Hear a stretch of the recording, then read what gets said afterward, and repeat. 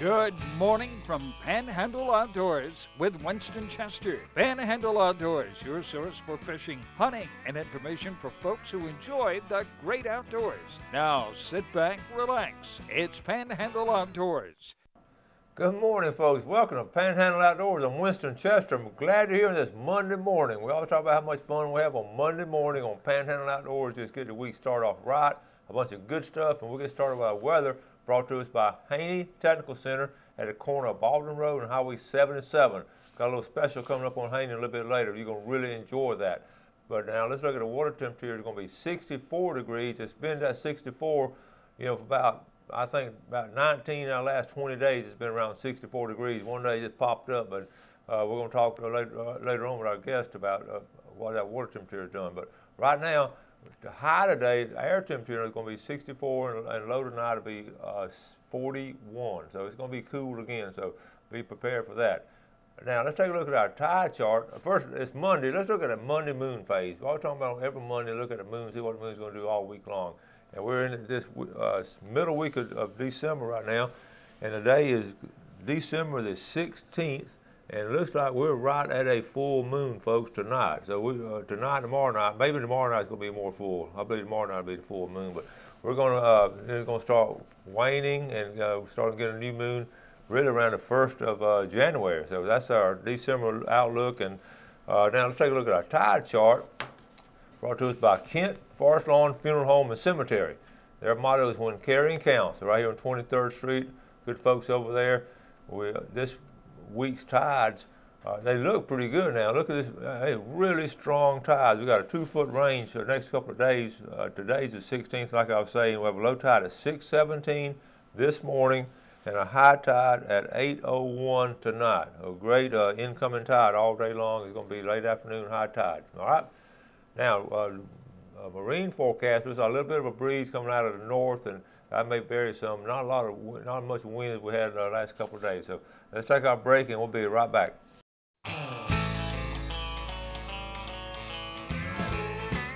Welcome back, folks, and welcome to my young man, Matt Smith. Good morning, Coach. And we're talking about a little bit of history behind. Uh, we, are talking about what we're going to talk about. We don't really have a big schedule right here. We just kind of shoot from the hip, don't well, we? We are.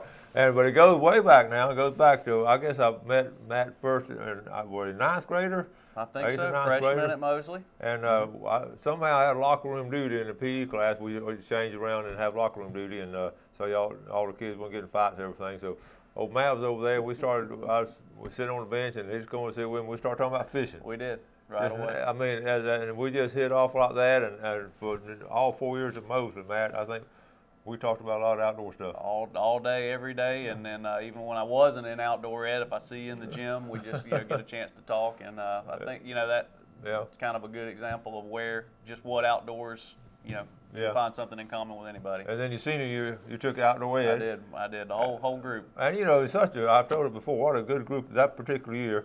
We had you and Justin Leake. Uh, uh, the Limits kids, uh, Mandy Miller. And we just had a what a great group. It was, it was cool. It was a great way to finish out the the, yep. uh, the year and and uh, Mosley. Yep, that, that was good, special time. Good so, memories. And then when we started the show down, we were down on Harrison Avenue he was doing doing the show down there, and I, I Matt was really heavy into bass fishing all the time. And we got into. Uh, Matt would come on and give us some bass reports and all. So it was longer ago than I realized. it's been, and, it's gone by fast. Yeah, and uh, but what's funny when he drove up, I saw that vehicle I said, that's the same.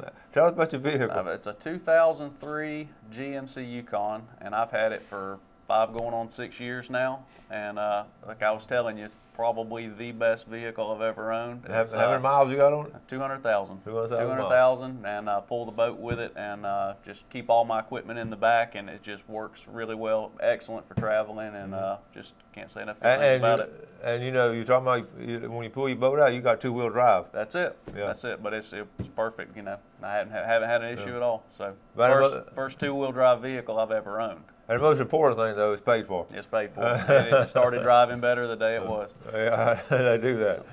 Well, we were talking uh, uh, before the show started about the water temperature.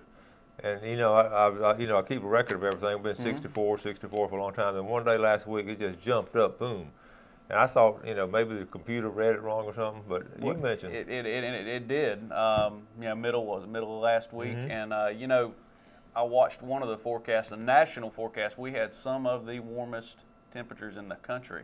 We were we were kind of yeah. a hot spot, and I, you know a lot of that's just your surface temp, but it is amazing in that short mm-hmm. of amount of time we had a, a, warm enough weather that it jumped up, you know, five five six degrees at least yeah. on the surface, and uh, you know, kind of kind of. You say Justin was out there. Justin was out. He got 68. Uh, yeah. water temp. Yeah, uh, so that could surface be temp in the past, and of course right there at the Gulf. But yeah. that just shows you how quickly it can warm up. And the other thing is, I, I found some fish the other day, some redfish up shallow, and uh, they were they were from the flat back into some backwater where they were was three degrees difference. Really? Just just in the just in a sheltered area, kind of a darker bottom, and uh, I believe that's why a lot of the why those fish were in there. Just that it warmed up that much. Yeah. So. Well, you know, that's the thing about we just never know. We look at all these records and everything, and all of a sudden, you know, all of a sudden, anomaly or something, something going on that we, we don't know. Well, like we always yeah. talk about, kind of fishing and observing yeah. the conditions, whatever whatever you're doing in the outdoors for that moment in time. Yeah. Not so much thinking about you know years past, because as we've seen the last couple of years with our winter, it's been very unpredictable. And same same thing uh, with with a big buck or something. Sometimes you know why I walk out sometimes in the middle of the day.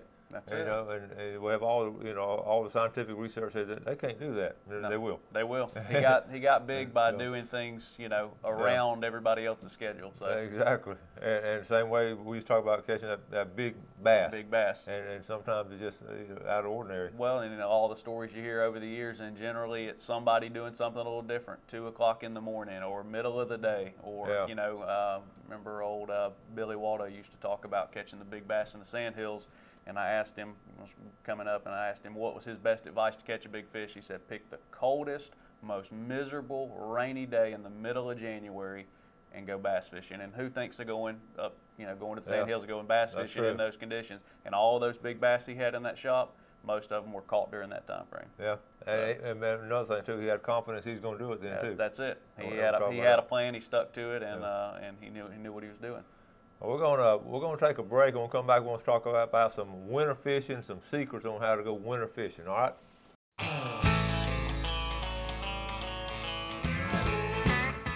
All right, welcome back. Here with Matt Smith.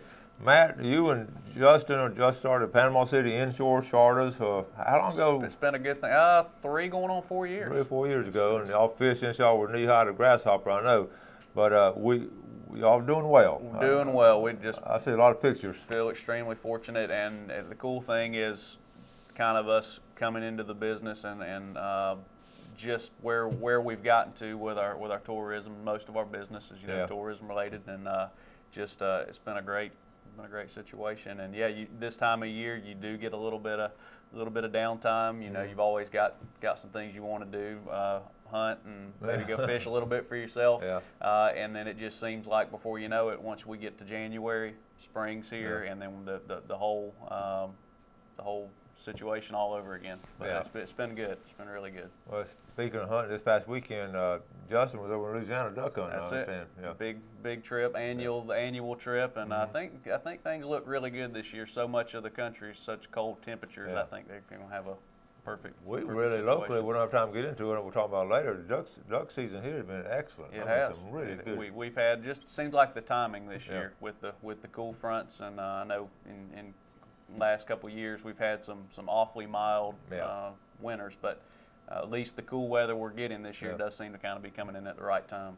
All right, let's gear up and talk about uh, winter fishing. You know, we we're into winter now. We're into winter. that that was that's the situation last time we were on. We were on with Bill and yeah. talking about uh, you know getting to that point. And and uh, my my take on it is there's always a point where it's you're you're working towards winter, and it all goes back to those water temperatures we were talking about. Mm-hmm. And uh, once you hit that certain, I, I like to say mid 60s. Once you get in the mid to yeah. lower 60s, you get some of that low 60s water temperature. I think everything mm-hmm. kind of settles out, and then that's where you think that's where things get consistent. And then you know, obviously, you want a little bit colder weather, mm-hmm. weather, but uh, that's that's it. We're here now.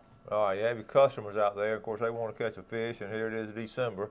So, what what do y'all try to do with them? Well, it just depends on preference. Now, I've got everything from serious fly fishermen that would, you know, prefer to sight fish for redfish, uh, to the to the guy that wants to bring his son and we just want to catch fish and have a good time. And mm-hmm. with with that option, I always go with the speckled trout. Oh, okay. uh, that, that's my kind of my standard.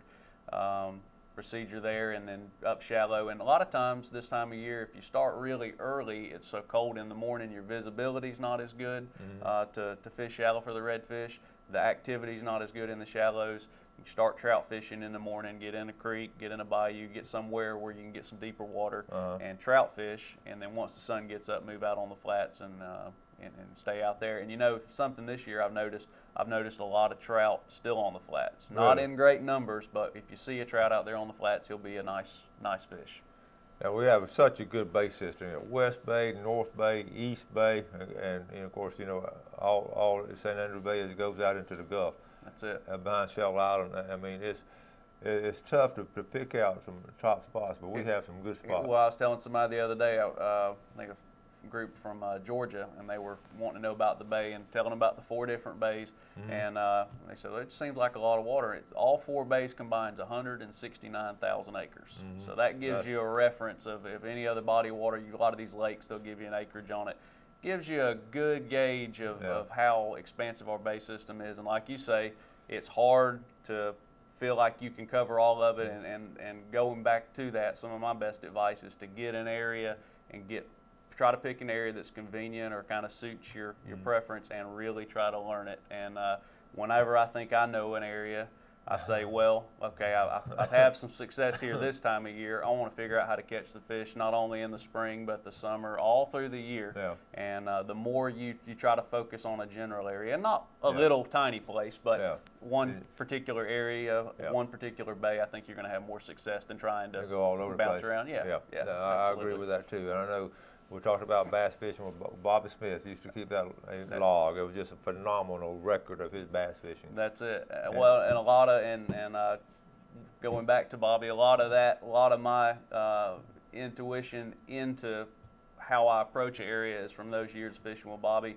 And you talk about being able to know an area. Mm-hmm. Bobby's the kind of guy that can go in a a slough in the river or uh, a part of a lake, and he knows every single yep. topographical feature. He knows where trees and laydowns are when you're trying to bass fish. That's the difference. Yep. Is not just knowing how to get around, but really knowing what's on the bottom. Now you know you made a big. We talked about this before too. You made a big switch because you, know, you really did concentrate on bass fishing as, a young man and all. And then, but you made a big switch over, and there's so many similarities. There and you are. can still do. I mean, you could probably this uh, coming weekend you could probably go out and go bass fishing sure. and have a great time. Sure, absolutely. Yeah. It, it's it's a it, there's a lot like you said. There's a lot of similarities, and and at the same time there's a lot of differences. One of the major advantages was that in this part of the state to uh, be a good bass fisherman, you're gonna your strength is going to be in shallow water, mm-hmm. and so that made the transition much easier mm-hmm. than if you were another part of the country and used to deeper, clearer mm-hmm. type reservoirs.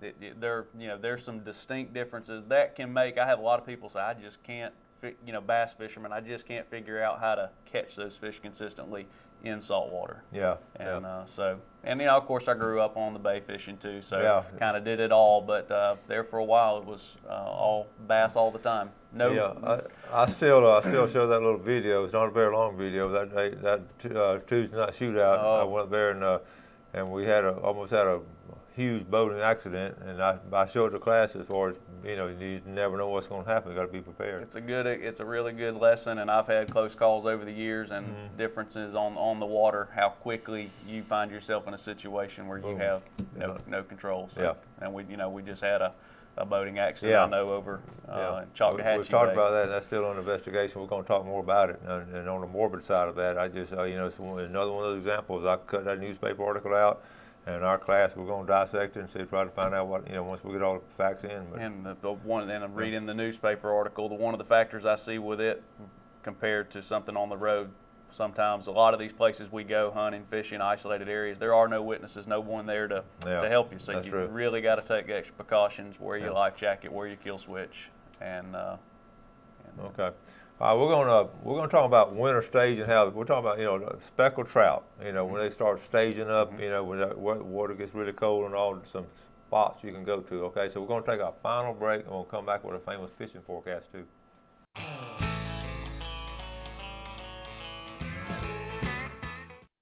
All right, welcome back. So here we're Matt Smith and uh, Captain Matt Smith and Panama City Inshore Fishing. Always check them out. They got a website and all that. PanamaCityInshore.com. PanamaCityInshore.com. Uh, good folks to go fishing with. But I, Like I said I knew them before they were big time fishermen, so I, uh, good to have them on. Let's look at our fishing game forecast for today, okay?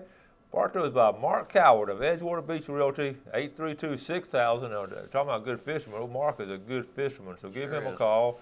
He can, uh, if you don't want to buy a house from him, just talk about fishing. And our times today, 11:08 a.m.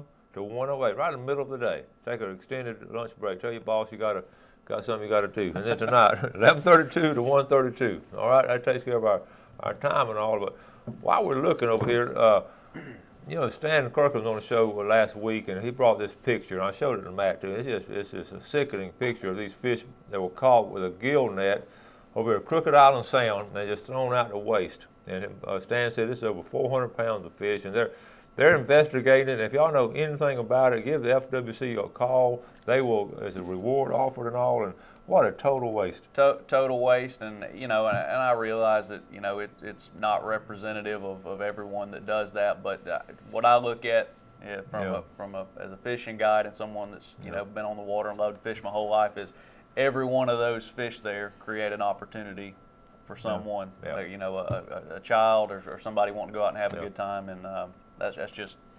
That's just Yeah, and so, you know, we just, it's our resources, Matt, mine, yours, Bob's, it's all of our resources. It's That's not it. just that one person going there and, gra- you know, catch 400 pounds of fish and throw them away and uh, to, to make a point or something. So, uh, we, you know, that's kind of riffraff we uh, need to take care of. Absolutely. Yeah. That's and, and can't say enough good things about the FWC. That's what they're out out there for, and, and the Okay. area they've got to cover is amazing. Yeah. How much They how do a good job. But on a more positive note, let's talk Yep. about, you know, we were talking Yep. about a speckled trout and all, and we, I gave an example I've talked about on the show. I want to talk about it again about one day when they were caught 64. I, I wanted to catch, I was with another guy, I wanted to catch 60, this is before limits now, okay, back in the 70s. I wanted to catch 67, one for each county, but we had to cut it short. But anyway, the next day I took it dad, we didn't catch any. So you've been in that situation where they've been a big wad of them right there, and they just boom, boom, boom, boom. And a lot of and a lot of that has to do with the weather. Yeah. Uh, with trout fishing, I like the colder the better. Now, you know, everybody has their limit on what they, you know, what they want to go out and and, uh, and fish in, and if you dress for it, you know, you, it can be comfortable. But uh, the colder the better. But those fish move a lot, and uh, that you know, that's the key to it is find out where do they move because that next day we went and they we, we just struck out. that's it. And I, so I, I learned a valuable lesson way back in the 70s on, on speckled trout. That's it. Well, and, you know, and that goes back to just kind of the general uh, tactic of trying to cover water until you get in the area where the fish are. So You just keep moving. keep keep moving. But you know, this time of year, your fish are looking for stable. Uh, I look for depth, but also look for good stability. And you know, some of these cold fronts that come through, that's why you know a lot of the reason the fish move off the flats. Mm-hmm. Got strong tides, and you've got very some very harsh conditions when that low tide uh, Mm-hmm. dumps out. and We get a hard north wind. There's not a lot of water uh, in, most of these most of these places. That's Yeah. right. And so your fish have moved in uh, everything creeks, Mm-hmm. bayous, canals. Um, a lot of times, even just a, a hole. If you you know find find a hole out off the edge of a flat, but most of the time it's fish looking for stability, and uh, generally you're going to find numbers, and that's one of the, the things that helps me find fish is if I'm out on a say a day I take for myself just to go scout, I don't stay in one place for long. If I'm not catching a fish, I'm going to keep keep moving. Yeah. But uh, and I, I, my number one bait this time of year that I, the style of fishing I like to get bites would just be a soft plastic grub. Everybody has their pick on brand and that sort of thing, but quarter ounce jig head yeah. with a That's with old school. with- it's old yeah. school, but it, it's tried and Yeah, true. it's tried and true, And yeah. it, it just best represents, I think, uh, it best represents what the fish are feeding on: small shrimp, crabs, bait fish. You want a small presentation. I had a guy the other day asking about top water opportunities. Sometimes on the warmer days, Mm-hmm. uh, your, your trout uh, or your redfish, uh, shallow, you can catch on top water. Uh, trout early in the morning, on the, some of the coldest mornings, the top water works Yeah, really it well. just doesn't make sense that it would do that It on doesn't. cold morning. But, But- uh, uh, you know, you told me that. We- But they can be Yeah. fickle. You know, you Yeah. got to know when to put that down. But day in, day out, soft plastic bait, especially your, your scented baits that are so popular now, you're going to catch fish. Yeah. If there's fish there, you're going to catch them and You- slow you- it down. You want it near the bottom. you really like that, those scented baits? I do. I Yeah. do. They make a make a huge difference. You know, we and we talk all the time about conditions and how important it is to be out there at the right time of day or the tide and all that. Yeah. A lot of times, I think that can bridge the gap if you're when you're when you're out there and Mm-hmm. you just make time and you go fishing. That's a lot of times is going to get a bite from a fish that wouldn't bite otherwise just because of that added attraction. So it works. Now, what about your colors and all? You got light color, dark colors, and I like a dark color and I like a natural, kind of a natural hue. This time of year, our water gets really clear, mm-hmm. and so you're not needing something that really stands out. I like something that's uh, either a, kind of a, a shrimp color. Yeah. make a lot of different variations of shrimp or a natural bait fish. Just a natural color. Mm. Don't necessarily have to have a lot of flake or sparkle in it, although that doesn't hurt. But uh, just a darker, darker color. All right, we talked a lot about winter. Before we know it's going to be spring fishing. It, it won't be long. I don't know. I've seen you guys out. We're running each other out there doing uh, uh, those Spanish mackerel in the bay. That's Is that it. fun? It's fun. It's That's a lot of fun. Well, and you know, you go through winter, and you know things things are just limited on, on what you can do, and you, you kind of get into the the same mode, yeah. and you fish particular areas, and that's the first situation where you just literally can have acres of fish yeah. actively feeding, and everybody kind of gets into and everybody's it. having a good everybody time. Everybody has a good time. And it's remarkable how well everybody gets along with that many boats it, and all. And I know the last time I saw there, y'all were fly fishing. It really is. We're fly fishing. And, uh, yep. Yeah, so that, that that's fun and all. Just inside the pass. I know we talk about it all the time. We're going to get together at some point and do some filming we're, on the We're going to do that. We're going to film a show of that. Yeah, yeah, best, your favorite way of catching fish, Matt, what would it be? My favorite way, if I could just go fish and, and have fun, would be a top water. Yeah. I think I'd yeah. rather catch five fish on a top water than I had 25 on anything else. But at the same time, I like to catch fish and have a good time. So yeah. I want to do whatever is best to. to well, do you and Justin have a good time? Just go by yourself? Yeah, very rarely it yeah. seems it's time. Sometimes we'll yeah. we'll just kind of jump in the boat the last minute. Sometimes take his one of his boys or both of them and uh just uh-huh. go out for a fun trip. But uh, not as much as we'd like to. Just you just you just kind of gotta you be always be ready and and uh, get a chance to do it. But, well, speaking of wrap things up, we're going to wrap it up. But I, as always, man, I appreciate you coming on the show. I always enjoy it, Coach. I guess you've been my longest term guest over Have the years. Yeah. You were one of the first guys I ever brought on the show. Yeah, Bill calls me a veteran. So yeah, yeah, yeah. Bill takes takes you over. That's why I don't have you on much because Bill always is grabbing you and Justin. So, well, we appreciate it, buddy. Oh, thank you, Coach. Always a pleasure. Always is. Merry Christmas. Merry Christmas to all of y'all too. Uh, Make sure you get your present to me soon. Oh, don't worry. Do something good for some other day, folks, and have a great day, and God bless. Thanks for joining us for Panhandle Outdoors with Winston Chester. Panhandle Outdoors features hunting, fishing, and other activities and information to help you enjoy the great outdoors. Join us next time for Panhandle Outdoors.